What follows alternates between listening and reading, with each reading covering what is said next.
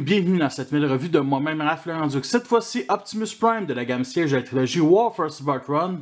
Alors, la forme de la boîte, c'est les mêmes que les Deluxe puis les autres leaders que je vous ai déjà présentés sur ma chaîne. Fait que, on a l'artwork ici à la gauche, mis sur un angle, qui est magnifique avec son point ici euh, sur le sol, comme s'il reprendrait son souffle pendant une bataille, avec une explosion ici à l'arrière. Je pense qu'il y a même ici une silhouette d'un robot.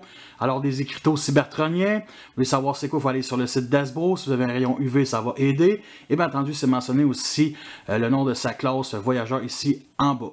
Et à la droite, un poster promotionnel. Ça va être de même pour toute la gamme. Vraiment magnifique avec l'arche au milieu. Euh, des autobots ici, surtout un close-up. Des silhouettes qui sont sur un champ de bataille. On remarque Megatron, peut-être Red Alert ici avec le lance-roquette à épaule. Et bien entendu, ici la planète Cybertron. Vraiment, vraiment superbe. Et aussi le close-up sur les yeux d'Optimus Prime. Honnêtement, il me le faut en plus gros exemplaire, ça c'est certain. Sur le dessus, un symbole autobo ici avec un dégradé qui va vers le foncé. C'est magnifique. Petite fenêtre qui montre le dessus de la figure. Et bien entendu, le nom de la trilogie. Et au landau, il montre bien entendu les deux modes, le nombre d'étapes. Ici, on peut venir équiper de figurines avec les Battle Master, que ce soit Autobo ou Decepticon. La gamme Sage est une gamme un peu fourre-tout. On trouve vraiment euh, du cybertronien en tant qu'il s'assume cybertronien, des véhicules cybertroniens qui ont un look futuriste euh, comme cet Optimus Prime-là, à des véhicules modernes comme le jet de Flyway puis des Micromasters et bien entendu quelques animaux. Alors, euh, c'est une figurine que je boudais. Je ne mentirais pas, j'ai jamais voulu l'avoir, je l'ai dit 14 000 fois dans mon podcast. Puis en checkant les revues, puis aussi grâce à un ami qui me disait que euh, le meilleur euh, côté transformation de la gamme, c'est carrément Optimus Prime. Et j'aime beaucoup cette gamme-là. C'est, spécial cette gamme-là. Euh, je l'aime bien. Elle a été surtout destinée pour moi. Moi qui étais un fan des Cybertroniens. Et il fallait pas que je passe à côté de cet Optimus Prime-là. Surtout que je l'ai bien mis dans mon histoire, dans mon univers, tout simplement, à la fin de la saison 3 de G1. parce que oui, mon univers ressemble beaucoup à G1.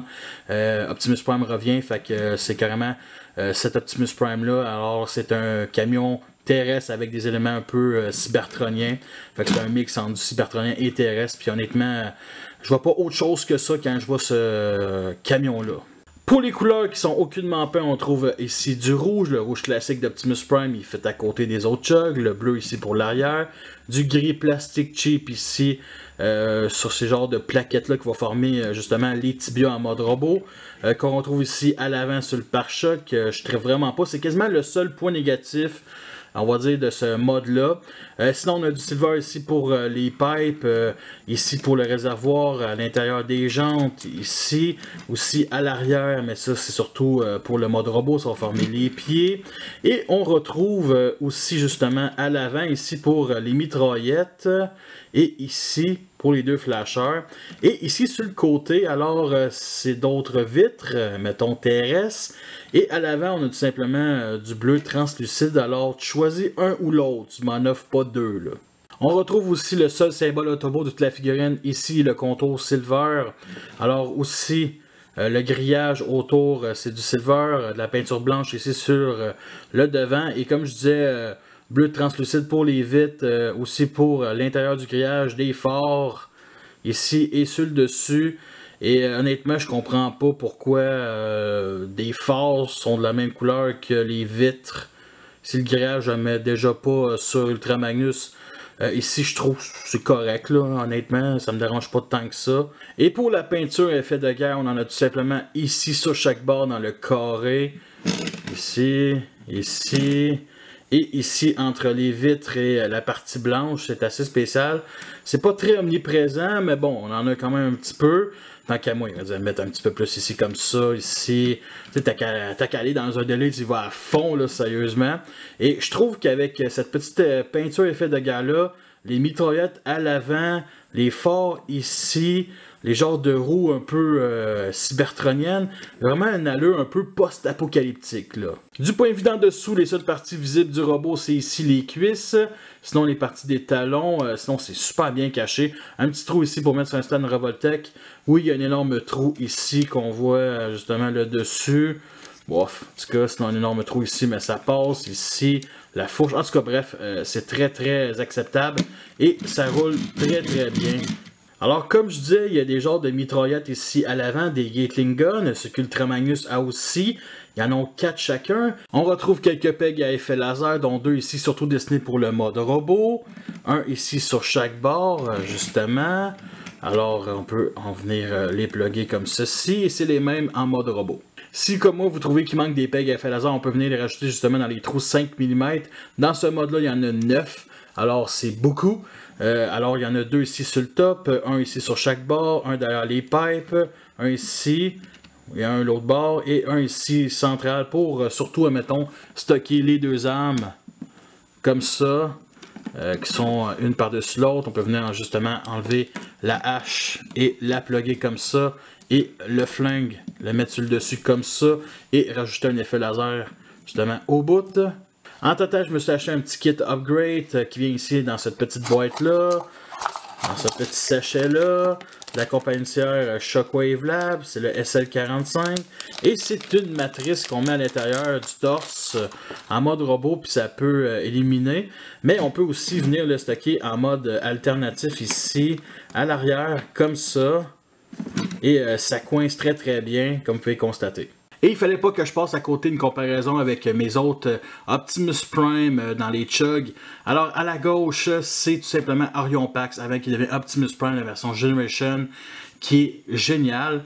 Euh, la version Optimus Prime War for Cybertron, ici, qui est pour moi vraiment la version ultime cybertronienne justement de ce personnage mythique et c'est clairement cybertronien comparé à ça.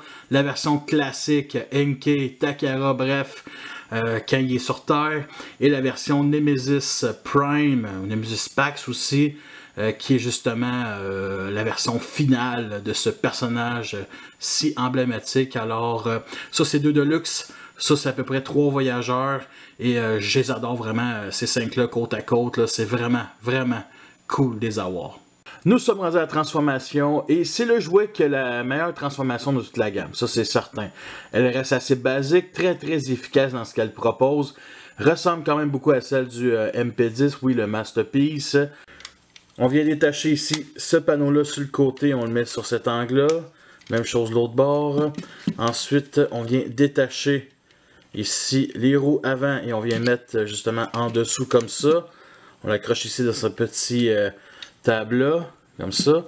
Ensuite, on détache, c'est déjà fait un peu, les panneaux qui contiennent les mitraillettes. Ensuite, ici, ces panneaux-là, juste au-dessus. On écarte les vitres vers l'extérieur, sinon il montre genre de fausse matrice. Et on vient lever ici toute la partie du toit. Et bien entendu, le devant va suivre. Alors, euh, on vient ici rabattre le panneau gris, ces deux petits panneaux-là, et on rabat justement. On soulève la tête. On enfonce la matrice ici de Shockwave Lab à l'intérieur. Et les parties creuses que vous voyez ici sur chaque bord, c'est vers le bas. Tout simplement, fait on replace ici les vitres, le petit panneau. Ensuite, on vient tirer toute la partie ici sur le côté vers l'extérieur, comme ceci. Alors, on place le panneau comme ça. La mitraillette, on la rentre ici à l'intérieur. Fait qu'on a déjà un bras. L'autre bord, c'est la même chose comme ça. On place droit ici l'épaule, le panneau ici et la mitraillette. On pivote ici comme ça à l'intérieur, fait que ça nous donne ceci. On écarte justement les bras, ça va nous dégager pour mettre justement les roues ici. Alors on vient les déclipser et on les rentre comme ça. Parfait, on descend les bras comme ça. Après, on vient descendre ici la fourche comme ceci et on s'occupe du backpack. Alors on pivote ici comme ça. Et voyez ces deux petits trous-là, ben, ça va venir s'installer justement dans ces deux pegs-là, comme ceci. Parfait. Et on finit par les jambes. Alors on les sépare. On place les petits panneaux ici. On déclipse ici le panneau qui contient les deux roues et on vient justement le pivoter et le clipser à l'intérieur. Alors euh, ici, on détache aussi le petit panneau gris, comme ça. Voyons. Parfait. Et on vient le clipser ici grâce à ce petit peg là comme ça. un peu... Euh, bon, parfait, ça va venir fermer toute la jambe ici. Et bien entendu, on déploie ici le pied et le talon. Alors l'autre bord, c'est la même chose. Alors, Comme ça. Le panneau.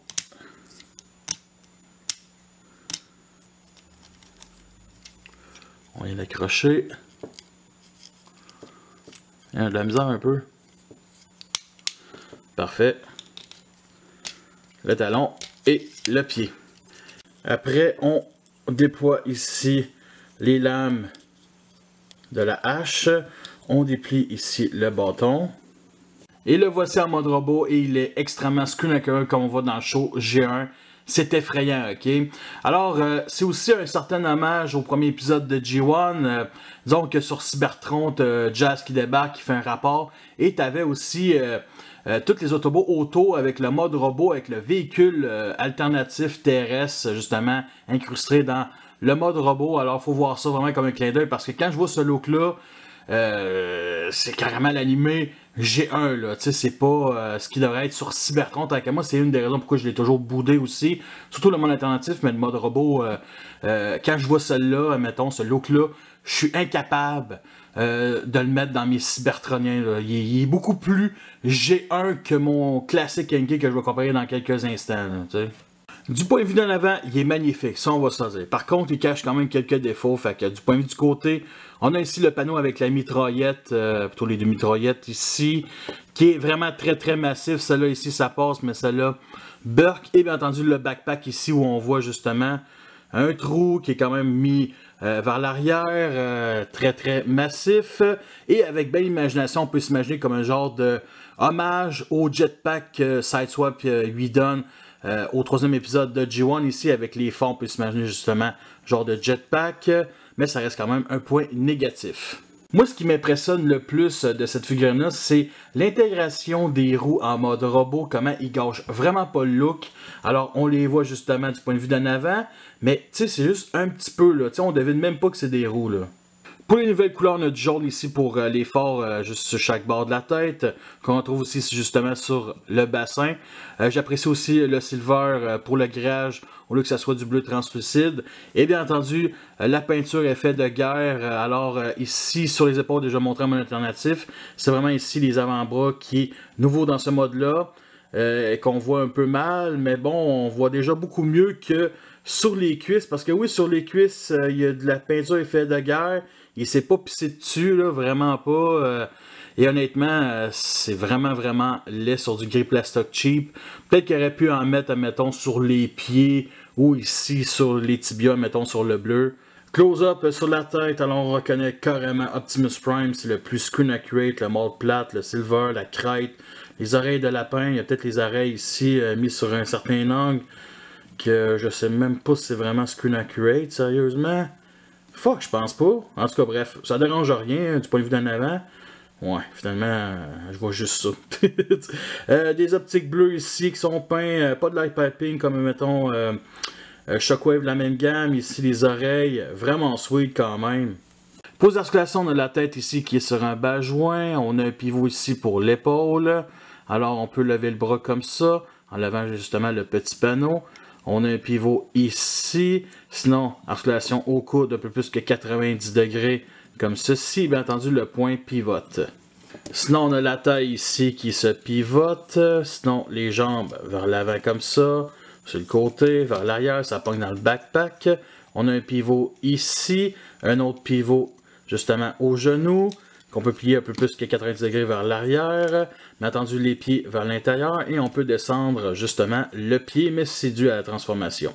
Malgré le gros backpack, euh, j'aime quand même beaucoup aussi de l'arrière, mettons, euh, ici le petit trou pour mettre un stand Revoltec, euh, ici c'est fermé, et bien entendu l'épaisseur des talons qui offre une excellente stabilité, ça c'est certain. Côté arme, on a un gun justement la G1 ici. Alors son nom c'est tout simplement le W-M3. C'est un foudroyeur ionique RF. Et je déteste honnêtement ici la partie du milieu. Vraiment, tout simplement à cause euh, d'un trou sec ici c'est dessus qui est utile seulement pour mettre la hache en mode alternatif. Et honnêtement, euh, j'aime vraiment pas euh, ça ici au milieu. Pourquoi, de la part d'Asbro, ils ont décidé de faire ça? Euh, Ils l'ont gâché. Ils l'ont gâché tant qu'à moi. Et il est trop petit pour le mettre, mettons, sur le classique. Mais pour un Deluxe, mettons, Optimus Prime Warfare Supertron, ça, ça fit euh, très bien. Et on a une hache ici. Alors, le nom du modèle, c'est un W-50. C'est une hache bouclier à énergon. Euh, ce n'est pas une arme à énergon. Une arme à énergon, c'est bien entendu translucide, mettons, comme orange, comme on a pu voir dans la série G1. Mais bon, si Asbro le dit, pourquoi pas? Alors, on a du noir ici ici pour le contour, pour les lames, pour le symbole autobo, c'est spécial. La tige ici, couleur gris cheese, ça aurait dû tout simplement être euh, silver. Et on a trois pegs à effet parce que oui, il n'y en a pas des nouveaux pour le mode robot. Et on peut venir installer, mettons, un ici comme ça, mon préféré. L'autre ici. Hop. Comme ceci, c'est pas pire. Et sinon, on peut venir, mettons, retracter les lames comme ça. Euh, toujours euh, la plus grosse en premier parce que sinon l'autre reste bloquée. Bien entendu, euh, le bâton, on vient plugger. Et on peut venir le plugger dans le trou 5 mm ici, sur le côté, mettons, du bras. Alors la poignée est grosse, ça donne ceci. je préfère en H tant qu'à moi. Et justement, en parlant de trou 5 mm, il y en a 12 dans ce mode-là, où il y en a quand même beaucoup. Et habituellement, ça sert pour, mettons, mettre les armes, les stocker, mettons, sur du dos. Et aussi euh, plugger, mettons, euh, les plus petits transformeurs euh, qui se transforment en armes, comme Cog, euh, Sysgun et Brown, euh, on les décombine et on vient les plugger un peu partout et forme une armure et ça c'est vraiment génial.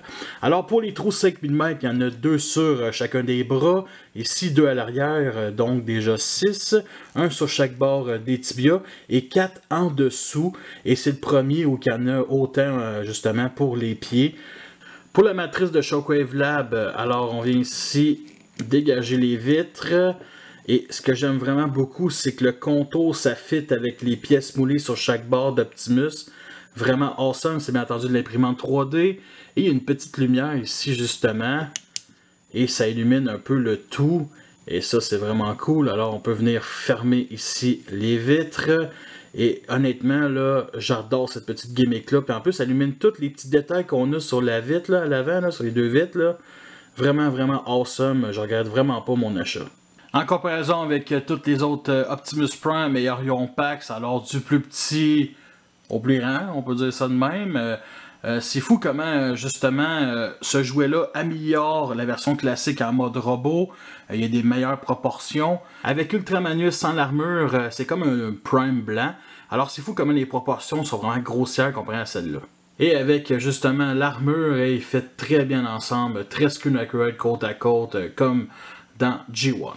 Voici le genre de pause qu'on peut faire. Nous sommes rendus à la fin de cette revue. J'espère que vous l'appréciez. Vous avez les pour et les contre. Alors, euh, c'est clair que je recommande ce jouet-là. Il en vaut la peine.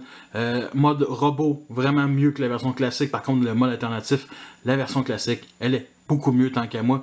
Pour euh, Optimus Prime sur Terre, bien entendu. achetez pour les cybertroniens? Non, vraiment pas. je vous recommande pas. Achetez-vous la version Warfare Spotron de classe Deluxe du jeu vidéo à la place. Ou même la version Leader qui va s'en venir euh, beaucoup plus cybertronienne, mais sérieusement, euh, moi, c'est pour ça que je ne voulais pas comparer avec euh, les autres, la gamme siège de luxe, mettons comme On ou Sideswap et Cog. Non, vraiment pas. fait que son prix initial est 40$. c'est un cadeau de fête de mes parents. Fait qu'ils l'ont payé 30$ en spécial. au Tozoros, 20$ aussi pour la matrice illuminée. C'est quand même un peu cher pour ça, mais ça vaut la peine. Ça vaut la peine. Fait que euh, si pas assez d'argent, achetez pas la matrice, ça c'est certain, mais moi, honnêtement, je regarde vraiment pas mon achat de la Matrix. Euh, en plus, Matrix, c'est mon film préféré. Alors, euh, comme d'habitude, ma galerie photo, le lien va être dans la description. J'ai beaucoup aimé faire aussi l'armure avec Cog, vraiment, vraiment sweet. Alors, à part de ça, vous voulez tous m'encourager, vous savez déjà tous quoi faire. Et j'ai fait toutes les revues euh, la première vague, que ce soit Micro Masters, Deluxe, Voyageur, Leader, allez toutes les voir, c'est seul quasiment en français. Il y en a d'autres, là, mais allez voir ça. Euh, je suis seul vraiment qui a fait tout ça. Et bien entendu, après cet Optimus Prime-là, je m'attaque à la vague 2, surtout les Deluxe. Euh, pas les voyageurs, non, il y a Sunwave et Class Leader aussi, fait que euh, il va en avoir d'autres de la gamme Siège. Euh, c'est une gamme qui est vraiment cool, mais j'ai surtout hâte, mettons, rendu à la fin de cette gamme-là pour voir une comparaison avec les autres Chug, admettons. Fait que merci à tous d'avoir écouté cette revue-là. Fait que sur ça, je vous laisse et à la prochaine.